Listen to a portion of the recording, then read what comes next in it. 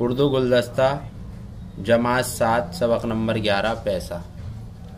कहते हैं ऐसे पैसा, कहते हैं इसे पैसा बच्चों। ये चीज़ बड़ी मामूली है, लेकिन इस पैसे के पीछे सब दुनिया रास्ता भूली है। हम आज तुम्हें इस पैसे की सारी तारीख सुनाते हैं। जितने जग अब तक बीते हैं, उन सब की झलक दिखाते हैं। कि एक ऐसा दौर भी था जग में, जब इस पैसे का नाम न था। चीज़ों चीज़ों से बिकती थी, चीज़ों का कुछ का कुछ भी दाम न था। चीज़ों से चीज़ें बदलने का ये ढंग बहुत बेकार सा था। लान भी कठिन था, चीज़ों का ले जाना भी दुशवार सा था। लाना भी कठिन था।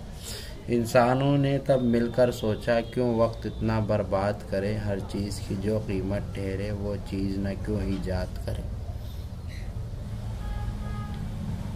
इस तरह हमारी दुनिया में पहला पैसा तैयार हुआ, इंसान का इज़्ज़त से जीना दुनिया में मगर दुशवार। हुआ साहिर लुधियानवी की ये नज़म है पैसा। उम्मीद है कि पसंद आ गई होगी और इसकी तशरी आपके सामने पेश है। आप यहाँ से मदद ले सकते हैं। अगले पेज पे भी इसकी तशरी अवेलेबल है, मौजूद है। आप यहाँ से तशरी देख सकते हैं, मदद ले सकते हैं। और बहुत ही खूबसूरत अंदाज में यहाँ पेश किया गया इसका मरकज़ी ख्याल, जो मैं आपको पढ़ के सुनाऊँगा।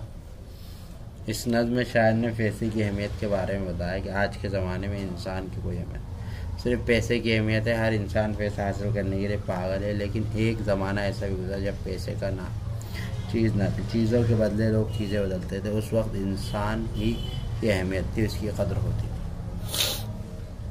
अब इसके बाद जो है, यहाँ पे कुछ अल्फाज मानी है।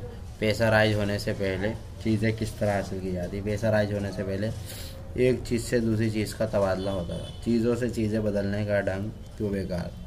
क्योंकि चीज़ों का लाना और ले जाना बहुत मुश्किल काम था।